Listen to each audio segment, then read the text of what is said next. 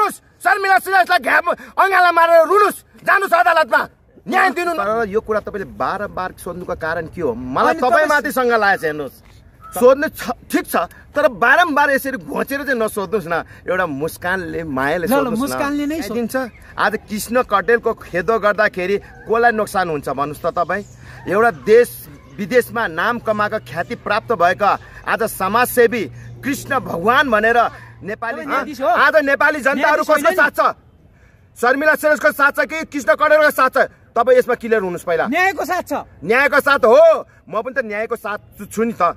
म कुनै अपराधीको भ्रष्टाचारको साथ त होइन नि। तपाईँले स्वागत छ। हामीसँग हुनुहुन्छ जाने माने खरो अभियन्ता गणेश बज्रचार्य जसले इन्द्रणीको बारेमा आज सबै प्रमाणित गर्नुहुन्छ। तपाईँलाई कार्यक्रममा स्वागत छ। नमस्ते धन्यवाद।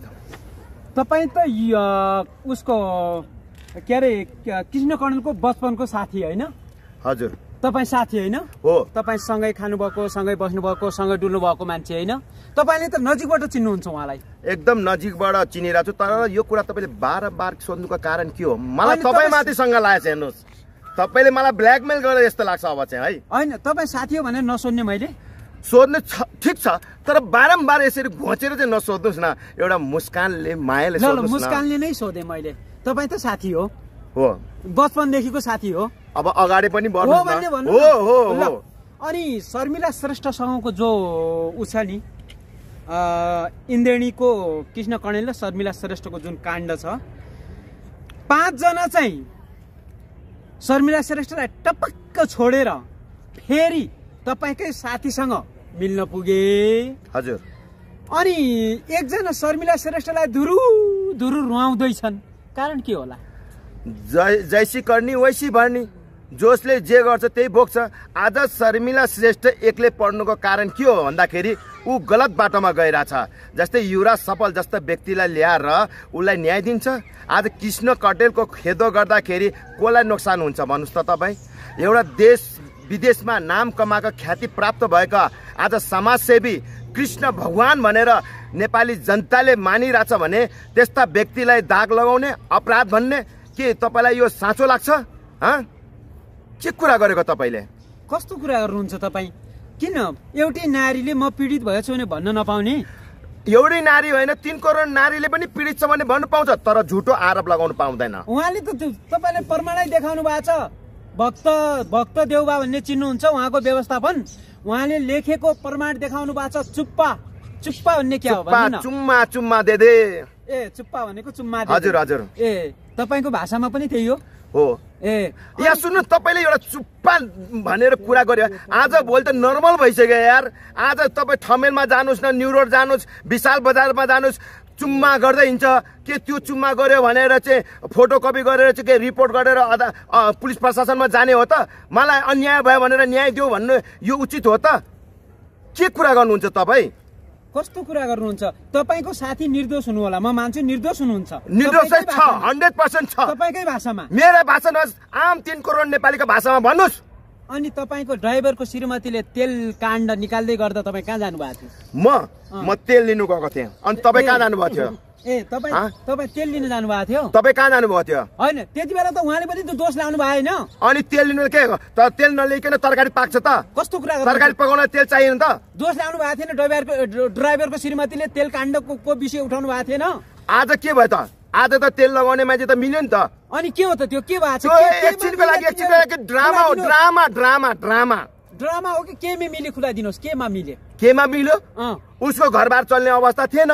उसको नाजुक अवस्था भयो। कोसिस कहीँ पनि रोजगार पाउँदैन। अहिले सरकारले रोजगार जनताको छिनिसकेको छ। यस्तो अवस्थामा कृष्ण कडेल त रोजगार दिइरहेको थियो नि। हाँ? त्यस्तो व्यक्तिलाई चाहिँ विद्रोह गरेर साइड लाग्नु भनेको कसलाई हानि भयो त। आज ती टिमलाई घाटा लाग्यो। आज त्यो टिमले दुई दिनमै आज आफ्नो त अवस्था त सार्वजनिक गरिदियो नि त। हामीबाट गल्ती भयो। हामीबाट टुटी कमजोरी भयो। हामीले चाहिँ इन्द्र कटेल जस्ता भगवान्लाई चाहिँ हामीले आरोप लगाए। हो जसले पनि साउले अलिकति चाहिँ अलिकति त भाउ त खोज्छ। अलिकति त तलमाथि हुन्छ। त्यो चाहिँ हामीले पनि काम गर्ने मान्छेले सहनु पर्छ आज भन्नु न आज हामी प्रधानमन्त्री मन्त्रीको अगाडि गल्ती भनेको छैन भने कृष्ण कणेलको त्यो तपाईँको कस्तो कुरो गर्नुहुन्छ? तपाईँ एक कुरो र कृष्ण कणेल कृष्ण कणेल तपाईँ बच्चादेखिको साथी भनेर एक कोरो सपोर्ट गर्नुहुन्छ त है मैले बच्चाको साथीको हैसियत बोलेको होइन मैले न्याय र अन्यायको विरुद्धमा बोलिरहेको छु। पक्ष र विपक्ष को हो सत्य छ? तपाईँलाई एउटा कुरा भन्छु। भिडियोमा हामी दुवै पक्षबाट केही केही न केही न केही न केही कमजोरी भएको छ भने- कमजोरी भएको छ भने कृष्ण कटेलको के हो त? कमजोरी? बताउनुहोस्। एउटा पीडितको सपोर्ट गर्नु पर्दैन तपाईँले। पीडितको support त गर्दै आएर छु। अघि भर्खर मैले उ त्यहाँबाट सुनिरहेको छु तिन करोड नेपालीले साथ दियो भने तिन करोडमा एकजना रुपियाँ मासुरी छैन ल त्यसो भए त्यसको जिम्मेवारी म लिने। शरीरलाई श्रेष्ठ होइन। अस्ति त्यही पापा नै थिएन त त्यसो भए तपाईँले सबै करोडको सपोर्ट भनेर मिडियामा आएर भनौँ छरिदिनुहुन्छ। तपाईँले के साबित गर्नु लाग्यो के कृष्ण कटेल दोषी हो? भन्नुहोस्। दोषी हो भनेर साबित गर्नु लाग्नु भएको छ भने प्रमाण देखाउनुहोस्। आफैले स्वीकारिसकेको छ नि। तपाईँ के भगवान्ले गलत गर्यो भनेर प्रमाण देखाउन सक्नुहुन्छ? ल तपाईँ प्रमाण देखाउनुहोस् ल भगवान्ले गल्ती गर्यो भने तपाईँ प्रमाण देखाउनुहोस् न। तपाईँको भगवानै हो कृष्ण के? मेरो मात्रै भगवान हो? त्यो भुका नङ्गा पीडितको लागि। घाँस बाँस दिएको छ। रोजगार दिएको छ इलाज गरिदिएको छ मलाई मलाई के दिनुपर्छ? के को कारण तपाईँ बोल्दै हुनुहुन्छ? किन? एउटा सत्यको पक्षमा लड्दैछु म। बोल्दैछु यति याद राख्नुहोस्। जसले कुटी कुटी मान्छे निकाले। कहाँ कुटी कुटी मान्छे निकाल्यो? कुन अवस्थामा पऱ्यो के हस्पिटल तपाईँ हेर्नु जानुभयो पीडितहरूलाई? ह्यारिसमेन्ट हो नि के के चाहिँ त्यो चाहिँ के त त्यसो भए? त्यो चाहिँ के तपाईँको भगवानको त्यो चाहिँ के? सँगै सुतुम एउटा कोठा म मिलाउँछु भनेर शर्मिला श्रेष्ठले मिडियामा आएर बोलेको त्यो चाहिँ के हो त त्यसो भए भनिदिनुहोस्। शर्मिला श्रेष्ठले मिडियामा आएर बोल्दै गर्दामा तपाईँलाई पूर्ण विश्वास लाग्यो कि शर्मिला श्रेष्ठले चाहिँ एकदम सही कुरा बोलेको। त्यही भएर त म आज निर्दोष छु भन्दै मिडियामा आएर रुँदै कराउँदै गर्दैछ। यो केही गरेको छैन भने म निर्दोष हो भनेर किन बोल्नु पर्यो मिडियामा पीडित भनेर आउन पाइयो। नलिएपछि मिडियामा आउने त कहाँ कहाँ जाने त? देश र जनताको अनि सपोर्ट लिन परेन। तपाईँले- लिन परेन एकछिन एकछिन एकछिन। एकछिन एकछिन एकछिन एकछिन एकछिन एकछिन एकछिन एकछिन एकछिन एकछिन। जब शर्मिला श्रेष्ठ पीडित भएर अन्यायमा परेको भएको कारणले गर्दाखेरि न्यायको लागि पुलिस चौकी गयो। अदालतको दरवाजा ढकढकाउँदाखेरि त उसको निवेदन लियो। कस्तो भगवान त? कामबाट पनि निकालेर रोजी रोटी खोज्दे। श्रम शोषण त्यत्र गरेर फेरि उल्टो केस हालिदिएर दुःख दिने। तपाईँलाई म भन्दैछु मेरो कुरा सुन्नेमा धैर्य गर्नुहोस्। तपाईँ मात्रै। नबोल्नुहोस्। भन्नु सत्य सुन्नु तपाईँको तपाईँले सत्य सुन्ने सक्नुहुन्न। तपाईँ झुटो कुरा मात्रै सुन्ने हो। म गुच्चा मिडियामा खेलु। आइरहेको थियो। म सँगै बसु सँगै हिँडु सँगै उठु। यो विषय मुद्दा होइन नि। यहाँ त सत्य असत्यको कुरा हो। झुटो साँचोको कुरा हो। तपाईँ कुन स्कुल पढ्नु भएको होइन तपाईँले साथी कुन स्कुल त पढ्नु मेरो यहाँ इन्टरभ्यू लिनुभएको हो। तपाईँ ताइन तुईको कुरा गर्नुहुन्छ। तपाईँ पहिला को हुनुहुन्छ? तपाईँ यो यो डिबेटमा आएर यो डिबेटमा आएर यो डिबेटलाई दबाउनुको लागि तपाईँलाई कसले अधिकार दियो? हा? तपाईँलाई कसले अधिकार दियो रुनुहोस् रुनुहोस् शर्मिला सिराजलाई घ्याप अँगाला मारेर रुनुहोस् जानुहोस् अदालतमा न्याय दिनु नसक्ने अनि यहाँहरूले डिबेट गरेर तपाईँ पनि रुनुपर्छ एउटा नारीको पीडालाई बुझ्न परेन नारी तिन करोडको विचारलाई मैले बुझेको छु पीडालाई बुझेको छु म नारीको विरोधी होइन सत्य र असत्यको पक्षमा छु म एक कोरो भेडोलाई मैले सम्झाउन सकिनँ म तपाईँको कुरा सुन्न पनि सक्दिनँ तपाईँले तपाईँले भेडो आरोप लगाउनु उहाँलाई? के तिन करोड नेपाली जनता भेडो छ? तपाईँले त्यो भन्नु लागेको आज कृष्ण कडेल एक्लै हो। त्यो जनतालाई भेडो भनेको जनतालाई हो कि होइन? यो कुरा क्लियर गरिदिनु पर्यो अहिले? गल्ती त छ त बाबा। के गल्ती छ? के गल्ती छ? गल्ती अरे बाबा, गल्ती छ, गल्ती छ? हन्ड्रेड पर्सेन्ट गल्ती छ। तपाईँ दुई पक्ष गल्ती एक पर्सेन्ट। एक पर्सेन्ट मात्रै गल्ती देखाइदिनुहोस्। नभएको भए मान्छेलाई लगेर किन मिलाए? दुईजना पत्रकारलाई लगेर सुटुक्क मिलेको भिडियो किन सार्वजनिक भयो? सयजना सयौँजनाको पहिला सुरुमा किन तपाईँ जस्तो मिडियालाई बोलाएन भनेर रिसाएको होला। तपाईँलाई बोलाएन तपाईँलाई उपस्थित गराएन भनेर तपाईँ त्यसको आक्रोश पोखेको होला। के मिडियामा मिडिया सयवटा बोलायो भने के सत्य बोल्ने हुन्छ? के दुईटा मिडिया मात्रै बोलायो भने झुट बोल्छ? एक- केरकार गर्दैन दुई गर्दैन सयौँ केरकार गर्दा त्यहाँ सत्य निक्लिन्छ। अस्ति दुईजना मात्र भएको भए मेरो गल्ती केही पनि थिएन भन्थिन् कि बुढाले?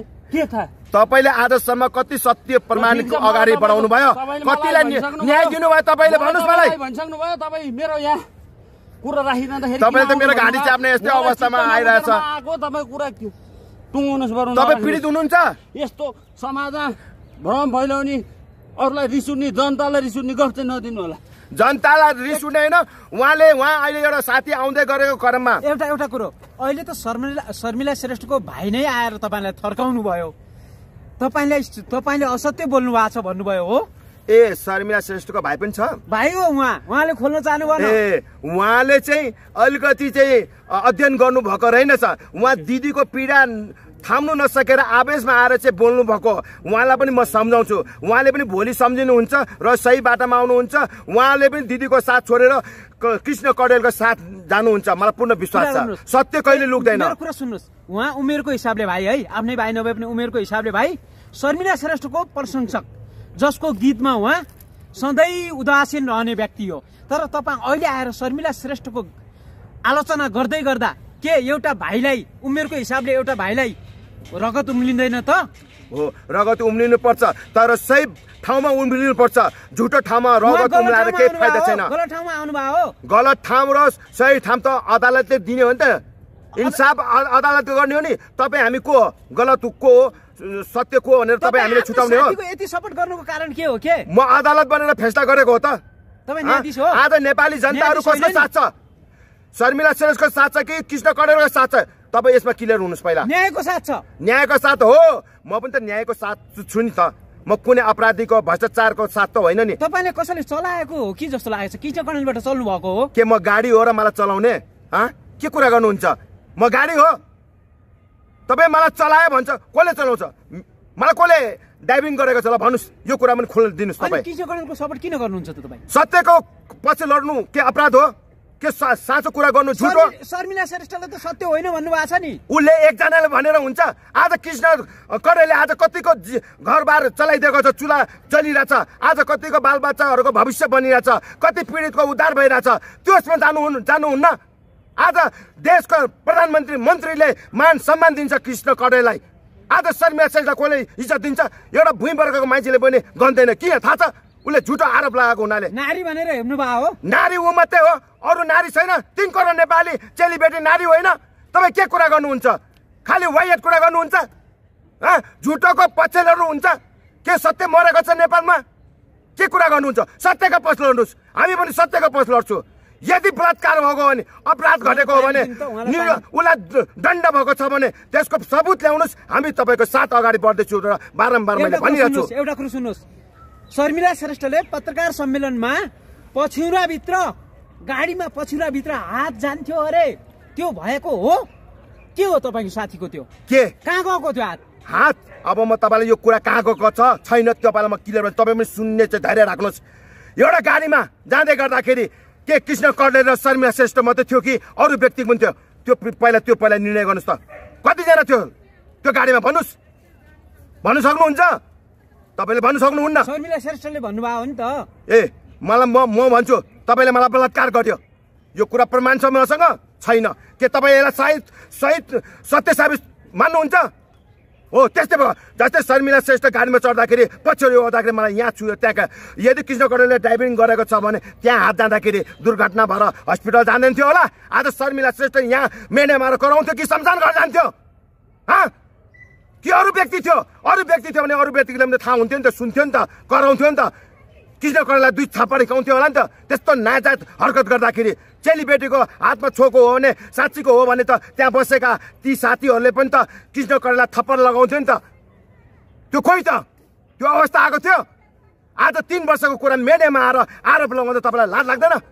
आज हेर्नुहोस् सिङ्गल दरबारमा तपाईँ मलाई नभन्नुहोस् है। किन? प्रश्न गर्न पाउँछु प्रश्न गर्नु पाउँछु। पाउनुहुन्छ। तर झुटो आरोपमा चाहिँ बोल भन्ने चाहिँ तपाईँले पनि पाउनुहुन्न मलाई। सत्य कुरामा बोल्नुहोस्। आज हेर्नुहोस् म एउटा कुरा भन्दैछु। सिंहदरबारमा स्कुटरमा गयो भन्थ्यो नि। त्यो सिंहदरमा जाँदाखेरि त्यहाँ पुलिस प्रशासनहरू कति हुन्छ नेताहरू प्रधानमन्त्रीहरू हुन्छ त्यहाँ सेक्युरिटीको क्यामेराहरू हुन्छ। त्यो शर्मिला सेठले चलाउँदै गरेमा सिंहदरबार छिर्दै गरेमा कृष्ण कर्णले चाहिँ हात यता गर्यो उता गर्यो भन्दाखेरि यो सत्य हो। त्यस्तो ठाउँमा के कृष्ण कर्णको इज्जत छैन? हाँ?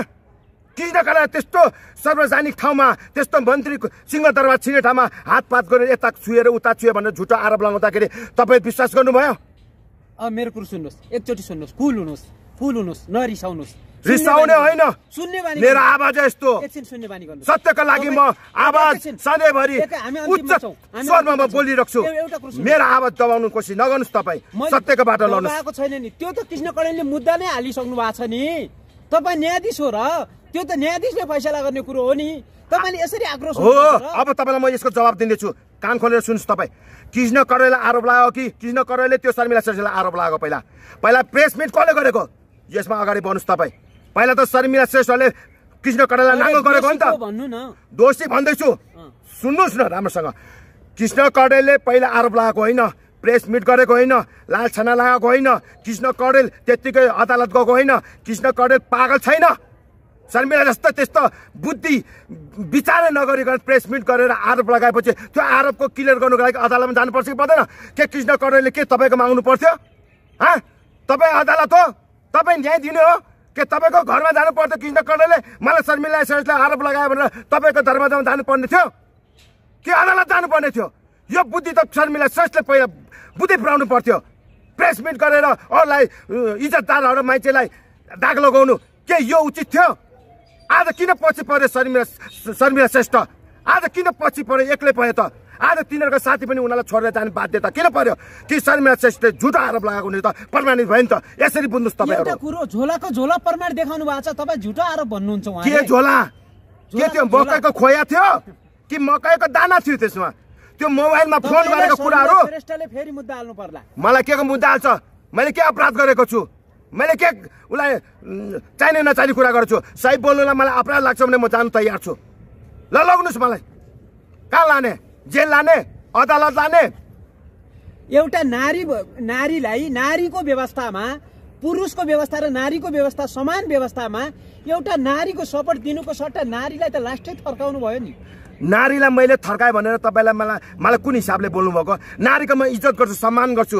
नारी मेरो आमा हो मेरो दिदी हो मेरो बहिनी हो। के गर्नुहुन्छ? शर्मिला श्रेष्ठले प्रमाण देखाइन भने नारी? पुरुष बराबर हो। यसमा नारीलाई अवहेलना गर्यो भनेर पुरुषको अपमान नगर्नुहोस्। पुरुष पनि त्यत्तिकै पीडित छ नारी पनि त्यत्तिकै पीडित छ। मेरो कुरो सुन्नु न भोलि कृष्ण कणेललाई शर्मिला श्रेष्ठले अदालतमा दोषी प्रमाणित गर्न सकिन् भने यो गणेश छ नि गणेश अभियन्ता जो आक्रोश भएर बोल्नु भएको छ नि हजुर। गर्नुहुन्छ तपाईँ? म स्वागत गर्छु ताली बजाउँछु यसरी। धन्य छ तपाईँ झुटो रहेनछ तपाईँ साँचो रहेछ। कृष्ण कडेललाई तपाईँले अदालतबाट दोषी साबित गरिदिनु भयो तपाईँको जित भएको खुसियालीमा म उहाँलाई बधाई दिन्छु अरू के गर्नु पर्यो त? प्रमाण छ देखाउनु न। प्रमाण। पहिला जितेर देखाओस् न। शर्मिला सेठीले अदालतबाट ऊ सत- सत्य हो। उसको जित भनेर देखाओस् न। प्रमाण छ भन्नुभएको थियो खोइ। तपाईँसँग के प्रमाण छ हो? सर तपाईँसँग के प्रमाण छ? हँ? कृष्ण कटेलको आजसम्म एउटा प्रमाण फेला पार्नु पा- पारेको छ। मोबाइलमा कुरा गरेको प्रमाण हुन्छ।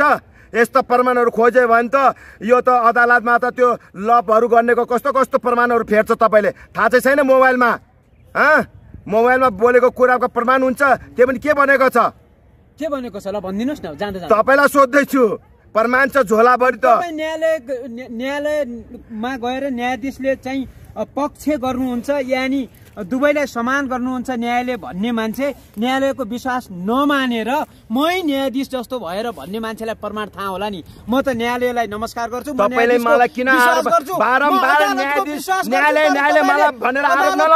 न्यायालयको अपमान नगर्नुहोस् तपाईँ। मैले कहिले पनि न्याय न्यायालय होइन म न्यायाधीश होइन भनेको छुइनँ मैले। तपाईँ बारम्बार मलाई न्याय न्यायाधीश बनाउनु भइरहेछ न्यायाधीशको अपमान नगर्नुहोस्। सिधा क्वेसन गर्नुहोस् साँचो क्वेसन गर्नुहोस् तपाईँले न्यायाधीश बनाएकै छैन। मान्छेलाई न्यायाधीश बनाएर के काम छ? हो तपाईँले बुझ्नुहोस्। म न्यायाधीश होइन मैले न्याय दिने होइन। मैले त सत्य के हो असत्य हो यसमा डिबेट मात्रै गर्ने बोलिदिने मात्रै हो। अब ल ल एउटा कुरो। म अब अन्तिम अन्तिममा छु। काठमाडौँ जिल्ला अदालतका न्यायाधीश र न्यायालयप्रति विश्वास राख्नुहोस् र तपाईँले बोलेको लागि गल्ती माफ पाऊ न्यायालय भन्नुहोस्। जिल्ला अदालतप्रति माफी माग्नुहोस् है। तपाईँले यो माफ मागेको म तपाईँलाई धेरै धन्यवाद दिन चाहन्छु किनभने गल्तीको महसुस गर्नुभयो। ल म बिदा लिन्छु। हस् त धन्यवाद मिडिया साथीहरूलाई। धन्यवाद